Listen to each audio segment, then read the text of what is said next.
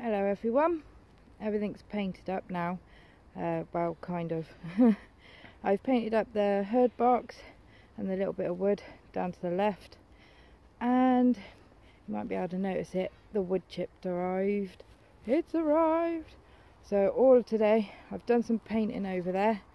It's patchy because some of it's dry, some of it's wet. And because it was green underneath, it's going to dry in all different colours, so it's going to need a couple of coats. So I wood chipped all that. Doesn't that look amazing? If only I can get it all like that. But I am done for today. Unless I want to break my back.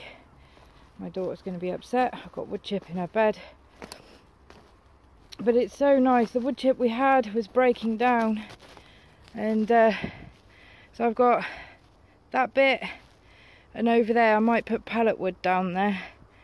And the fruit cage the fruit cage needs to be um, wood chipped as well but uh, I want to put weed membrane underneath that. Got that path done. Um, I still got all of this to paint yet. And uh, I need to put the tarp back on top of that. It will get dug over and stuff. This is where my potatoes are going to go next year. It's going to take up both beds. Um, and I need to sort through all of that and put it in my new compost bin um, got some wood over there, so I'm hoping there's some lengths to put down the sides of this bed, and then I can create, uh, excuse me, then I can create another path here, and then all of this will be wood chipped as well. But I need to dig it out. Uh, garlic's doing really well. It's looking good. It's going a bit yellow. I might chuck some uh, Epsom salts on there, and I need to get rid of some of those weeds before it gets really bad. But yeah, it's not it's looking quite good. I wish I had enough to do that gap. if you've got OCD, this is going to really bug you.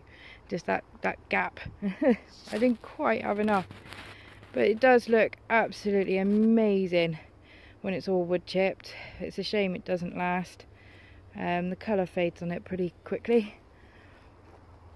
But yeah, just thought I'd show you a quick video. The wood chip going down and the colour of the beds of what it's all going to look like it's not looking too bad. It's quite amazing. If you look at my very first video of the allotment it does not look anything remotely like this whatsoever. It's quite amazing. Right just a quick one guys. See you later. Bye